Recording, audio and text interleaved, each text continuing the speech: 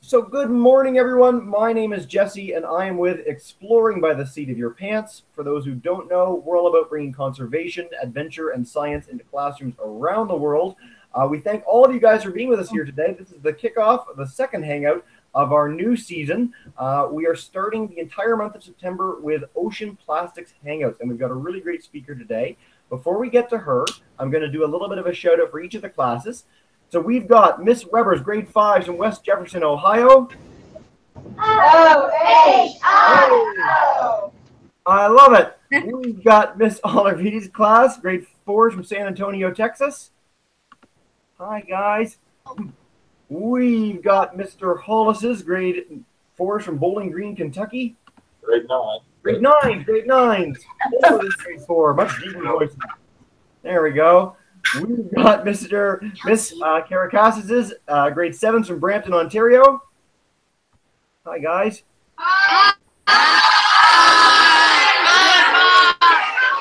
And then with all the mics firmly muted, we've got Miss Hubble's grade fives from Virginia Beach in Virginia.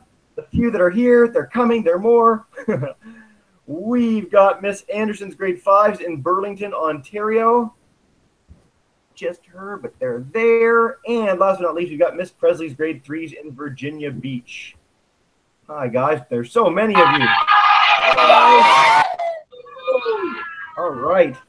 Of course, the reason you guys are all here today is for our speaker. We are joined live from Toronto, Ontario, Canada, as I am as well, uh, by Dr. Chelsea Rochman, who is one of the first people to really study and sound the alarm about marine plastic pollution. She has taken her research and turned it into a role in advocacy. She has spoken for the U.S. State Department, the UN, and many others on the issue. And so we're so, so happy to have her with us today to kick off our month. Chelsea Rochman, thank you so much for joining us and take it away. All right. Well, good morning, you guys. Um, I'm going to share a screen in a minute, which is going to be my PowerPoint, and I'm just going to walk you through basically how I became interested in plastic pollution, a little bit about the issue, what we can do to help, and I'm going to try to wrap that all up in 20 to 25 minutes so that we have lots of time for questions. But before I switch screens, I just want to say thank you for signing on and thank you for being interested in this topic. I also got interested in this topic when I was young um, about your ages, but really, really interested when I went to university and learned more about it. So hopefully, um, you stay interested in this topic and try to do what you can do in your own homes and with your friends and in your own life to try to help this issue. So I'm going to change my share my screen, and then Jesse, I'm gonna look to you to tell me if it's working. I it shouldn't it shouldn't be yet. It hopefully is now. Yep, you're good. You can see just the big slide. Just the slide. Okay. So for those of you that are local in Ontario, this picture is actually some trash that I took at Humber Bay Park West at the end of Mimico Creek. So a lot of what I'm going to talk about today is not necessarily local plastic pollution, but I just want to note that we do, of course, have local plastic. And so this issue is a global issue. I'm sure lots of you guys have been to beaches or parks or even just your neighborhood streets and seeing plastic litter or any type of litter on the ground. And all of that contributes to this issue. But for me, I got interested in this issue because I heard about the Great Pacific Garbage Patch. So by a show of, and I can't hear hands, so so yes, voices. Can you tell me how many of you guys have heard of the North Pacific Garbage Patch or the Great Garbage Patch? I'm demuting a few classes for you. So Miss Weber, Mr. Hall, Mr. Hollis's class, have you guys heard of it? We got some hands, hands in all the classes. Yeah, a few of us. A few of us. Okay. Yeah. So, and I think lesson, so it used to be that this was kind of the thing people talked about when they talk about plastic pollution. So when I was in college, in undergrad, I read this article in the Los Angeles Times, which was introducing this idea of the Great Pacific Garbage Patch to the world. And the way that it was described is this big floating island of plastic trash twice the size of Texas. And so mm-hmm. the way it was described, you'd picture something like this picture here. This used to be the picture that would come up when you Googled Great Pacific Garbage Patch. The reality is, this is the Baltimore Harbor. This is not the middle of the Pacific Ocean, but it got a lot of people interested in this issue. Now, for me at the time, I was living in San Diego, and one of my favorite beaches that was down, um, so San Diego, California, the very south borders uh, Tijuana, Mexico. And right on that border, we share this big estuary. And then this big estuary that we share, it looks like this. And so for me, I hmm. was thinking about plastic pollution from a local standpoint and one of my favorite places to go look at birds, go swimming in the ocean, knowing that we had this issue. So I got really interested in the issue. I volunteered for organizations that were working on it, and I decided I'm going to become a scientist. And the reason is because if I become a scientist, I can help us better understand the issue, and then I can help use that information to inform decision making or management strategies or solutions to this growing problem. So, in my first year of graduate school, I had an opportunity to go to the garbage patch on a research cruise led by the Scripps Institution of Oceanography out in San Diego. On this boat, the New Horizon, or this ship, and our trip was called SEAPLEX. And to be honest, I can't even remember what it stands for anymore because this was almost 10 years ago, um, but it stands for something about plastic expedition. And uh, we were going to go out to see what this garbage patch really looked like. We had no idea. We had heard stories about floating islands of garbage, but we wanted to go see for ourselves on the first big scientific expedition to the Great Pacific Garbage Patch. So we set out on a ship.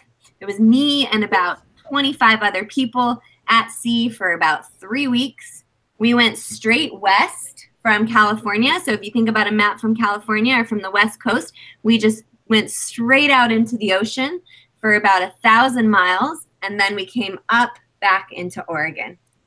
Our goal was to get into the garbage patch and sample it. What we would do is every four hours, we would throw a net over the side of the ship. We would tow it for 15 minutes, and we would pick up as much plastic as we could. The reality is, was day after day after day, we would throw our nets overboard. We would drag our net for 15 minutes and we wouldn't really see anything in our net. And so we were starting to get bored. We were playing with squid on the side of the boat that we would find. We were looking at things with our flashlights at night, looking at bioluminescence. It was beautiful. Um, but we weren't we weren't seeing what we expected to find the plastic. And when we did see plastic, it often looked like this. So here we are in the middle of the Great Pacific Garbage Patch. There might be a buoy. If we were sitting on a football field, there might be a buoy on one end of the football field. There might be a bottle right beside us, and there might be a drink tray uh, for um, like washing dishes in a boat on the other side of the football field. So we were seeing from some debris, but we just weren't seeing this island. And we thought, well, this is interesting we keep dragging our nets and we keep dragging our nets. And then one day, I'm sitting in the kitchen and I'm eating breakfast, and all of us are eating breakfast in the galley of the boat. And there's some people upstairs. And if you look at this ship in the picture, you can see the front of the ship. And if you follow the blue line to the first bit of white and you go up, that's where you stand when you're on the bow looking out. And so we had some people standing there looking for marine mammals, looking for seabirds, and also counting the plastic as it went by. And all of a sudden, they call us all up to the bow. They call us all up to the front of the ship and they say, Everybody get up here. We need your help. And we thought, What is going on? And we go up to the top of the boat and we look out, and the scene looks like this. Every little white fleck that you see is a piece of plastic debris. It looked like confetti of hundreds to thousands to millions of pieces of plastic floating around and we couldn't possibly count them as we went by. And every single one of us stood back with our backs against the ship and just stared in awe of this issue, which was very different than it had been described. But as somebody who cares about wildlife, all of a sudden you know that from an ecological perspective, this small plastic debris has the ability to get into and to be eaten by almost every single species in the ocean. So for me, I study how plastic debris impacts animals. And for me, I will never forget this moment in my career because it made me think about the small stuff, which we call microplastic, and it made me think about how it impacts wildlife. And when you think about cleanup, how do you clean up all of the small, small pieces? So it really flipped the way that I thought about the issue. And of course, there were big pieces. We saw this net that you see here on the left, and there's lots of fish living under it and around it. So there were some big, those we call ghost nets because they're still fishing even though they're floating around. But the majority of what we saw were these small pieces that you see in this um, magnified image with little tiny myctophid or lanternfish in there. And these are the type of pieces that you see in the gut content of animals and those are the types of pieces we were seeing off of the bow of the ship. So since that time, this was 10 years ago, um, maybe nine to be exact, we've learned an awful lot about this issue. So how does plastic get so small and tiny like that? Well, the plastic that we have leaves the shorelines, right? So every little brown piece of land is a continent. The plastic that we use leaves our coastline or goes off of a ship if we litter from a ship, and it follows the current patterns. And so if you follow those arrows, you can see that it takes you out into the middle of the ocean and they kind of circulate there. So the North Pacific garbage patch is that top one in between the United States and Asia. And so you can see how the plastic would get into this area. And then over time with sunlight, those big products of plastic, like the things we know and use, like water bottles and shampoo bottles and things like that, break down by the sun into smaller and smaller pieces. And so we now know that it's not just the garbage patch. There's plastic accumulating in all of those major open oceans, in all of these gyre systems where the currents come together. And we think that in the ocean, there are 15 to 51 trillion little pieces of these plastics weighing 93 to 236,000 metric tons, which is such a large number that it's really hard for us to even grasp. So the reality is that for plastic pollution, we have global contamination, and that while some of it is big, a lot of it is big, this macro plastics, fishing nets, and products that we use every day, the majority of those pieces are these tiny, tiny small bits of plastic that we saw off of the ship.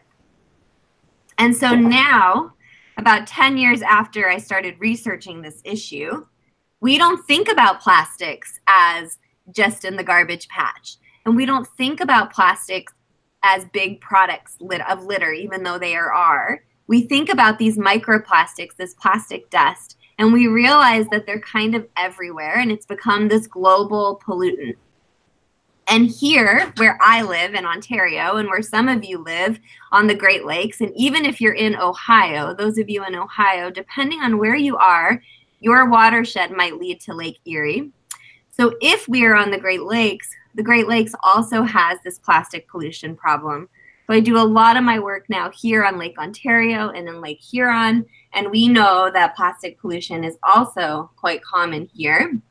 And in some cases, the amount is even greater because it's not dilute like the ocean, right? The oceans are all connected, the currents move around, whereas in a lake, you're a bit more isolated in this small body of water. So then this question is if there's plastic everywhere, and I said it can get into the food chain, there's this question of has it? So when I started doing my work, I was mostly quantifying plastic pollution in different places around the world. And one of the places I quantified it in was seafood. And the other place that some people have quantified it in is sea salt. And the reality is that if plastic is getting into animals in the ocean, we know that plastic is getting into the animals that we eat. When we pull our water from the Great Lakes to make our drinking water, we know that plastic is getting into our drinking water. Now, does this mean you should stop eating water or seafood? No, we don't know what the effect is. And the amount that we're exposed to is likely pretty small. But the reality is, what this means is that by not taking care of our trash or our litter or our materials properly at the end of life, that they've come back to us in our own food and our own water. So then you ask this question of how did we get here? So you guys are anywhere from, I think, fourth grade to ninth grade. Is that correct? So you have grown up always with using a lot of plastic in your daily life. So I encourage you just for a moment, just look around your classroom. You're probably sitting on a plastic chair. You're probably wearing plastic sneakers or tennis shoes. You likely have plastic in your clothing. If you have glasses on, like I do, the frames might be made of plastic. And certainly, this computer that I'm talking to you on is made of plastic.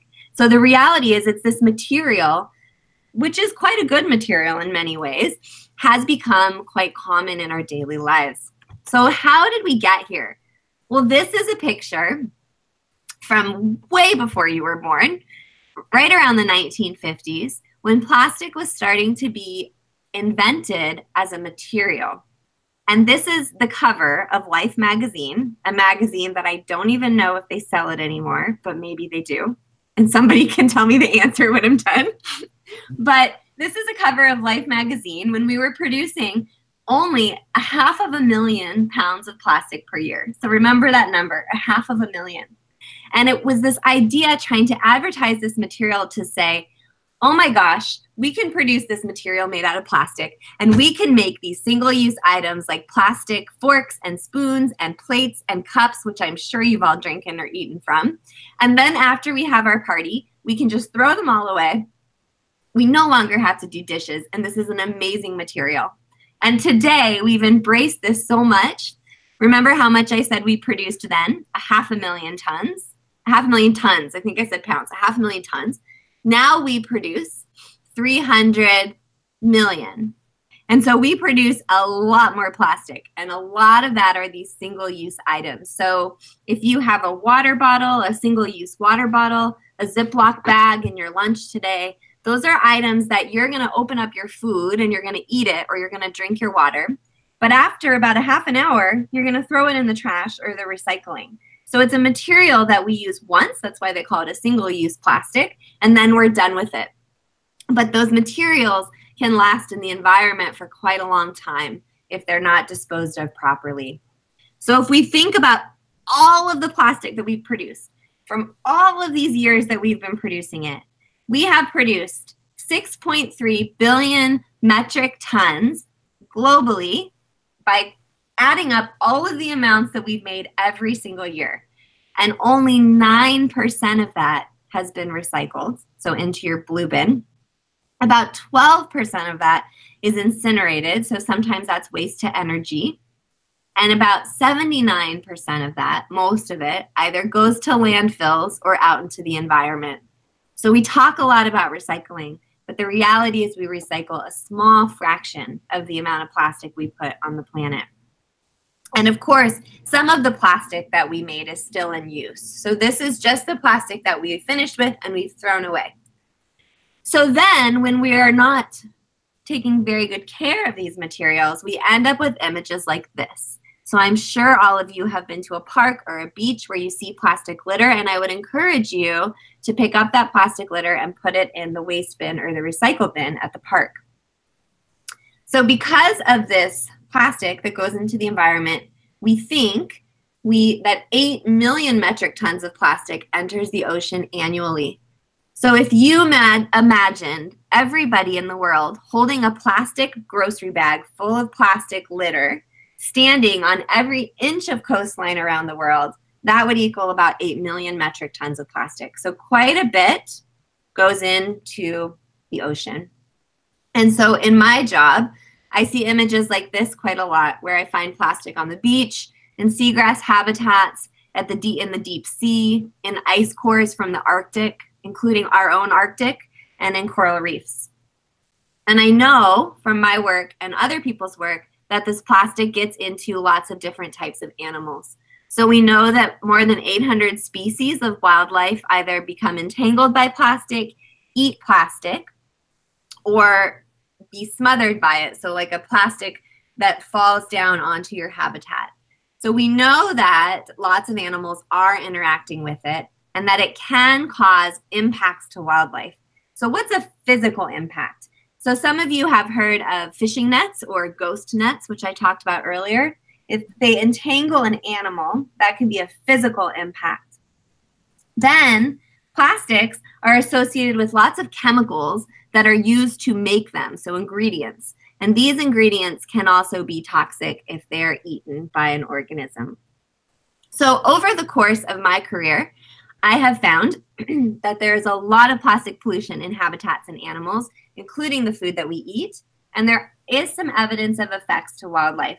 And I continue to do the science. Every day, I run a lab full of 25 people, and we continue to try to better understand how plastic gets into the ocean, the sources, like where does it come from, the fate, where does it go once it ends up in the ocean? Does it move through the animals? Does it sink to the deep sea? And then how it impacts us as well as animals. But the reality is that we also have enough information to start to mitigate. So, to start to prevent plastic from going into the ocean and to start to clean it up. So, I want to talk a little bit before we stop about solutions. So, for plastic, there is no silver bullet solution to plastic pollution. So, yes, that rhymes, so you can always remember it. There's no silver bullet solution to plastic pollution. Um, the reality is, I think there are many different solutions and actions that we can do at the same time to help prevent this issue. So, on the country level policy and on the global level, we're starting to see our governments take action. So, for those of you here in Canada, Catherine McKenna and Justin Trudeau are working hard on this issue. And on their this year, they've made lots of announcements as part of the G7 program to prevent plastic from going into the ocean by improving waste management and reducing some of the use of single use items.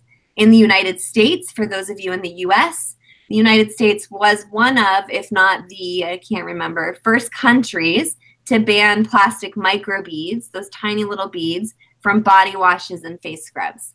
And that realization that that needed to be done came from some work done in the Great Lakes by a collaboration between both United States and Canadian researchers.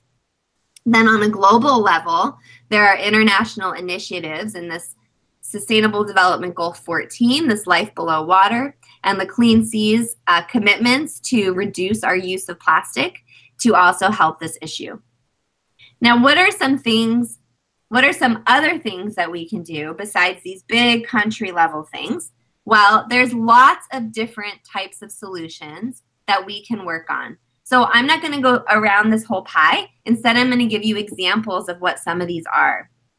So when I talked earlier about the little amount that is recycled and that big amount that goes to landfill, we can increase or improve our waste management infrastructure and have more of it just circulating in use so that a lot of it is not going out into the environment. We can also, don't read all this, I'm sorry for this slide, incentivize the return of fishing gear. So when fishermen go out and they're fishing, if they see a net lost on the bottom of a reef or floating around, they can pick it up and they can return it to the coastline and get paid for that. We can also stop using certain single use plastic items. When we do beach cleanups, and this coming Saturday is International Coastal Cleanup Day, so I would encourage you to find a local cleanup and go clean up a park, a beach, somewhere in your neighborhood or in your area. We find a lot of these single use items like grocery bags and beverage bottles and caps and straws. And this is why you hear people talk about banning the use of straws or getting rid of the use of straws some of these things that are not necessary for everybody, right? So maybe not banning them completely, but not having them be so available because they end up often in our environment. I'm going to skip around a little bit because I want time for questions. So here is the cleanup. So I just want to say, so we can clean up on the beaches. We can clean up in the middle of the ocean. So some of you might be aware that there's a project called the, the Ocean Cleanup Project they're leaving the land right now and driving a gigantic boom out into the middle of the ocean to try to clean up the garbage patch. And I wish them luck. And then there is Mr. Trash Wheel. And for those of you that aren't, aren't familiar with these trash wheels in Baltimore, it's a great idea. They sit at the end of river mouths and they collect the trash before it goes out into the ocean. So lots of way to clean up. But it always comes back to that question of what can you do, right? What can you do in your home?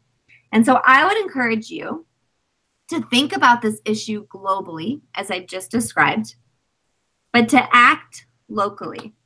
so, what does that mean? Do things that you can do right at home. So, lead a cleanup in your region, and you can share your data via Ocean Conservancy or the Great Canadian Shoreline Cleanup.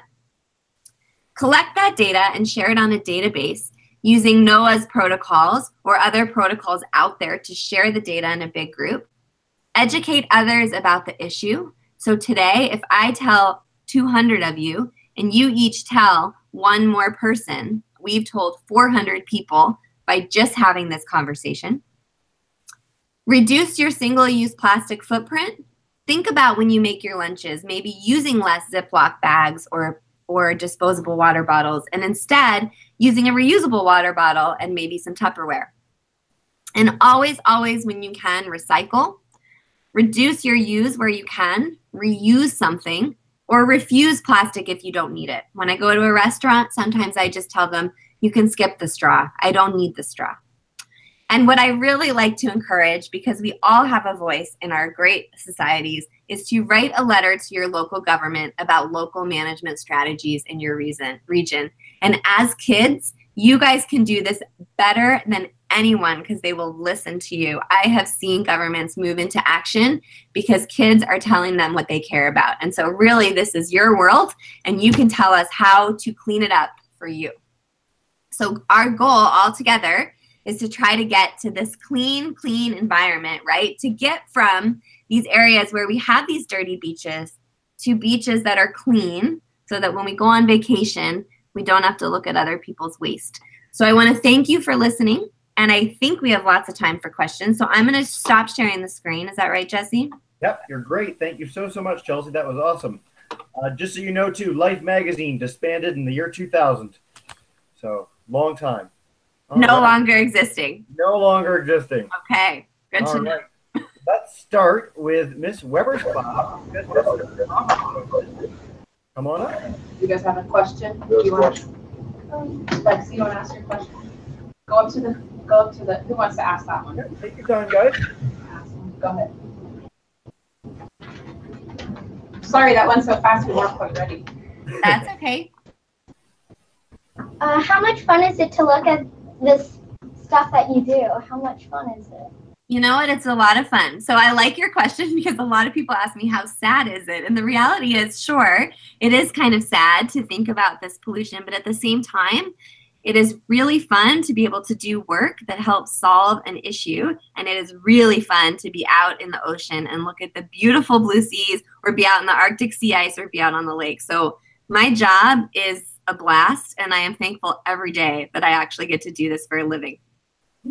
For what it's worth, too, that's a great question. You're literally the first person ever to ask a question about fun when the person's topic was sort of sad. So thank you so much for that. yeah, it was a great question. Never happened before. History of exploring seat of your pants.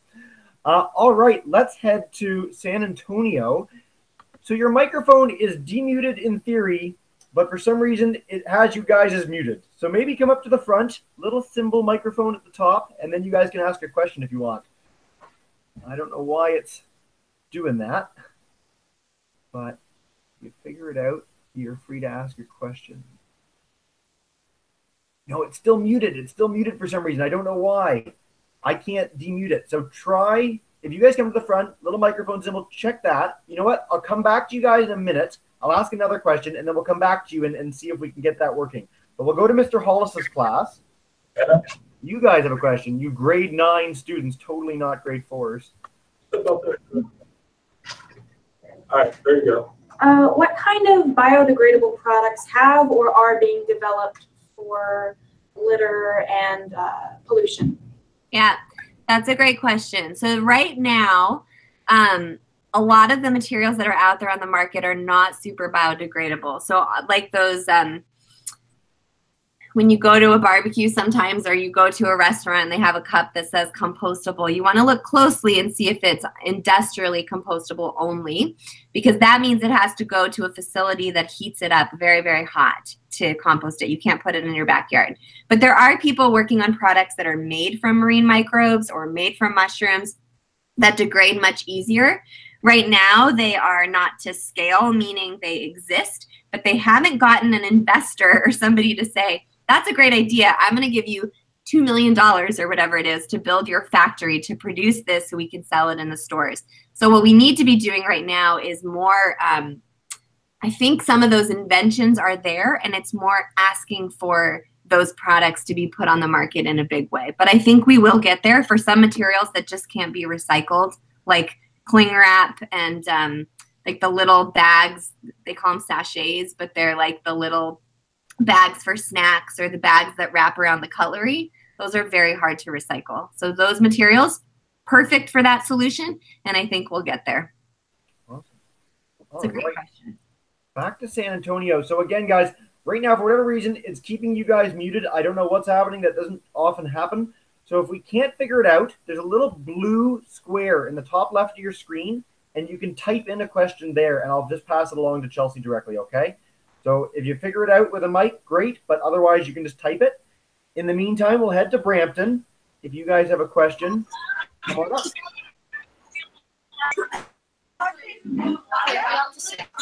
What's the estimate on how long uh, will it take to on the ocean? I think your voice cut out exactly on the keyword I needed for that question. Can you repeat it? How long is the estimate on uh, how, how long will it take to like clean up all the plastic from the ocean? How long will it take to clean it up?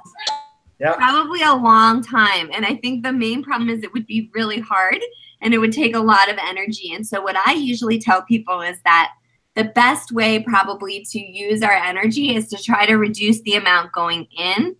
Not that it's not a good idea to clean it up, but if we stop the amount going in, then every time we do a beach cleanup, we are cleaning up the ocean because a lot of that trash and litter washes back up on shorelines.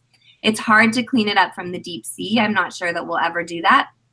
But I think it's really important that we turn off the tap going in before we spend a lot of effort cleaning it up from the middle of the ocean. Excellent. All right, let's go to Miss Anderson's class. Just come on up, guys. Demute your mic at the top. it's like eight students that want to ask a question. yeah. And there you go. You're good.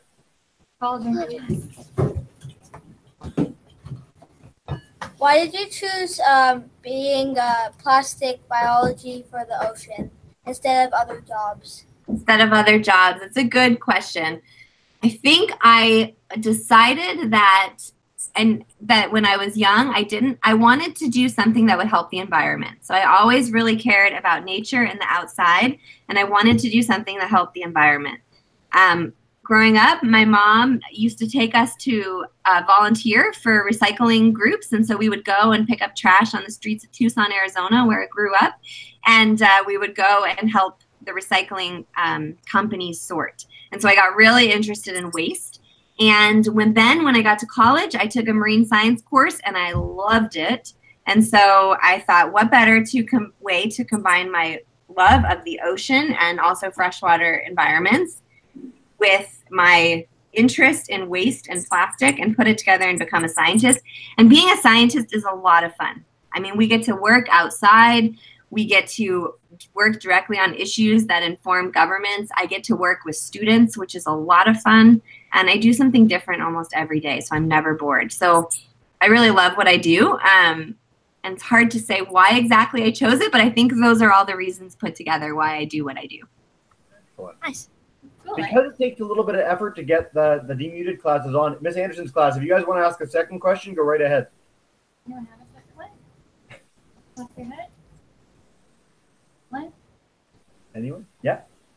How long did it take you to become um, a scientist? Mm. So I went to school just like you, and I continued in school through high school. Then I went to university, and that usually takes about four or five years. Um, then I did a PhD, which took another five years. But by then I was already a scientist. So when you're doing your PhD, that's when I was out in the garbage patch. So I spent five years doing my PhD, and then I spent three years as a postdoc, which just is after your PhD before you become a professor. But I would say during all of that, I was a scientist. So I really think it took me my entire undergraduate career, and then I launched into working on my own projects. So just for the classes to know, so how old are you when you're done your undergraduate? 18. Okay. No, no, No, you finished high school and you're 18. you're, you're a child prodigy. Normally you're 22. Perfect. Let's go back to San Antonio. It looks like the mic's working. If you guys want to ask a question, What are we sniffing up? Um, if you see plastic like stuck or like if you see um, animals that have plastic like stuck in their mouth, Question? you take them somewhere like to didn't see him a very hospital. hmm Yeah, so there are animal hospitals and groups. So, like if you've heard of SeaWorld, that actually have these animal rescue centers. And so often, if you're out in the ocean and you see an animal injured, there's a number that you can call. And that, and that those people will come out and rescue that animal. So it's a bit dangerous to try to clear it yourself. But for example, I used to work on whale watching boats. And one time we did see a whale entangled by plastic rope. We called that number, we hung by the whale, they came out, they cut it off, and the whale was set free. So, absolutely, there are people that do this for their job. And you know, that's probably a pretty fun job, too. So just a, a note on that. Actually, we work with a group called the Turtle Hospital. We do tons of hangouts with them, and that is what they do. People rescue turtles and bring them in, and they take the plastic off them. They fix any medical problems they have. So it is a very fun job, and they love it. All right, let's go back. You know what, you guys, if you have a second question, San Antonio, go right ahead. I know it's been a little trouble to get you guys on, so uh, go for it. Why does the trash? Why does the trash affect the smell? Why does it what? Why does the trash affect the smell? Like, why does trash smell bad? Yes. Yeah, well, because often our trash has rotting food in it, right? And so that's one reason. But in the middle of the ocean, the trash, the plastic that we pull out, actually smells really bad. And it's because animals start to live on it and around it. And then if they wash up on the beach, then they kind of rot in the sunlight. But the fact that the plastic, when it goes in the ocean, starts to grow life around it is actually one of the reasons why animals eat it. Because you wouldn't choose to just eat your water bottle. You know it doesn't taste good. But if your water bottle was surrounded by a hamburger or some other type of food, you might eat it by accident. So this smell is actually sometimes what leads animals to it. But why the trash just smells in general is generally because there's food waste and rotting food around it. That answer your question? So, Thank you. yeah. Yeah. Awesome. All right, let's go to Miss Presley's class where someone is like right at the computer. if you guys have a question, go right ahead. Okay. You What's your question? Why do they call it a ghost net? That is a great question. Why do they call it a ghost net? They call it a ghost net because once the net is released from the boat or the ship and it's now floating around on its own, it's still fishing. So animals can still get caught in it, but there's no fisherman or fisher associated with it anymore. So it's a ghost net because the the fisher that's operating that net is now a ghost, right? Because it's not there anymore. And so that's why they call it a ghost net. Thank you. I wanted to ask that question too. Uh, okay, so we have a few more questions with classes here. I just want to note too, we've got some people watching on YouTube live. So Miss Stringham's class, for instance, if you guys want to send in a question, you can in the YouTube chat bar. So please do. But first, let's go to Miss Hubble's class in Virginia Beach. There's so many of you. Uh, so yeah, just come on up, demute your mic, guys. Little microphone symbol top of your screen, and then you'll be good. There you go.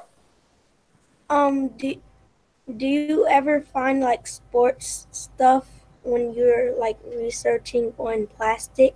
Mm-hmm. So recently we did a cleanup in the Don River, which is a river in Toronto, and we found 55 balls.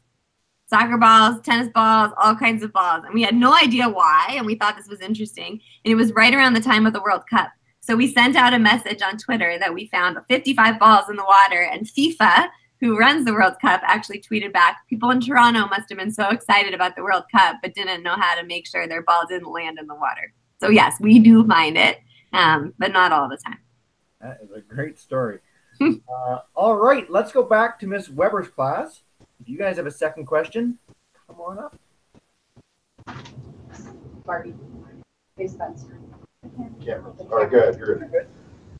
Why did you develop the web, the website? Why did you develop the website? The website that we have in our for our lab group, yeah. Um, mostly to basically allow people to come and see what we're doing and ask us questions. Because it's really important for me as a researcher to reach out to the community and not just do my science in the lab and then write papers for other scientists. But we really care about working with the local community and then also having people around the world be able to ask us questions like you for example. So by having a website we can get emails from people who are curious about the issue. And we can also if we have events like we're doing a cleanup in a few weeks we can put it on the website so people know to come join us. So I think a website's a really good way for me to be able to communicate with the public, but also to attract new students and researchers to my lab and my research group. Awesome. Great question. Before we go on to the next question, I just want to say to all the classes, it's been really great seeing how confident all your students are coming up and asking questions, especially so early in the school year that like never happens. So it's really impressive. Well done, teachers. Uh, let's go to Mr. Hollis's class. You guys have What they set up. Do you guys have a second question? Hey, buddy. Thanks. If not, we can come back. We will come back. We promise. Uh, let's go back to Brampton. And demute, and you should be good. Yep, you guys are good. You want to ask a question? Maybe, maybe we'll come back. What? Oh, now you started asking after I muted. There we go. Try again. Louder. Yep. What type of new technology is being to help the challenge? What type of new technology is being developed to help manage the challenge? Uh, a lot of different things. So there are new technologies for cleanup. So like that project I was saying that's going out into the middle of the ocean now, um, those trash wheels and different things that sit at like storm drains or river mouths to clean up the trash. There are people trying to invent new ways to sort our waste for recycling. Um, different types of plastics that are more biodegradable or more sustainable. Um, a lot of technologies, and I think and just new waste management strategies. So, for example, there are people trying to turn plastic back into what plastic is originally made out of, which is oil, in a safe way so that we can truly reuse that material over and over again. Awesome. All right, we'll wrap it up with the final three questions. Let's go first to Miss Presley's class. Go right ahead, guys. Okay, ready? Ask Yeah. loud. How, how do you help a city to stop littering? The city. You know why I love that question? Because I honestly think that the best place to work on this issue is in the city because waste is managed very locally.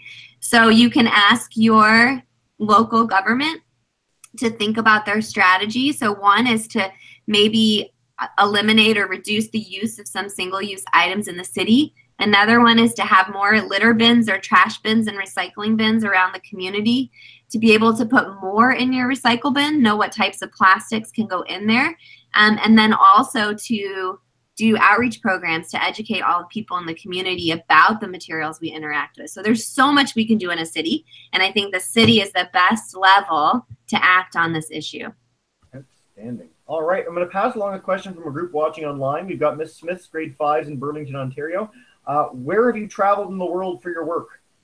What country? Today I'm traveling to Burlington, Ontario, uh, to go to the Canadian Center for Inland Waters.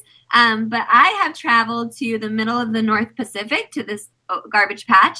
I have traveled across the South Atlantic to look in the plastic in the South Atlantic. I've been to the Canadian Arctic, which is beautiful. Um, I've been in streams and landfills and wastewater treatment plants around Canada and the United States. Um, and then I've been to lots of places for conferences like Africa and Russia and Korea. And but in terms of field work, I think I did some work in San Diego. I think those are most of the places that I have been to. Woo! Is that the short list? Holy. All right. That's also what's fun about being a scientist. But you do fly a lot. Yeah. It makes you tired. Well, today it's just Burlington. You you don't have to fly there. Yeah, but I hope it stops raining. All right. We'll wrap it up with Miss Anderson's class. If you guys want to do one last question, go right ahead. Yeah. Hold on, I gotta unmute it. Yep, you're good. No, you're good. Oh, good. Go. Yeah. When did they discover the Great Pacific Garbage Patch? In 1998. So Captain Charles Moore, who is somebody who sailed a lot, discovered some plastic on his route, started to try to understand more about the issue, and it wasn't until eight years that the Los Angeles Times published it and it became much more publicly known. But he discovered it in 1998. What year were you born? What? What? Wait. Let's go back. We have to demute you to find out what year were you born. 2008. Yeah. So 10 years before you were born. Thank you for making both of us feel so old. Uh, to wrap up the hangout. Uh, all right. So, guys, at the end of every hangout, what we do is I'm going to demute everyone's microphone. So, Miss Weber's class, Mr. Hollis's class, uh, Miss Caracas's class, Miss Anderson's class, everyone, if you could join us in saying a big thank you to Chelsea. Thank you, Chelsea. Thank you, guys. That was a great first hangout to kick off our Ocean Plastics Month. Uh, we hope to have you all back. Chelsea, that was wonderful. Thanks so much for joining us. No problem. Thank you. All right, guys. Have a great day.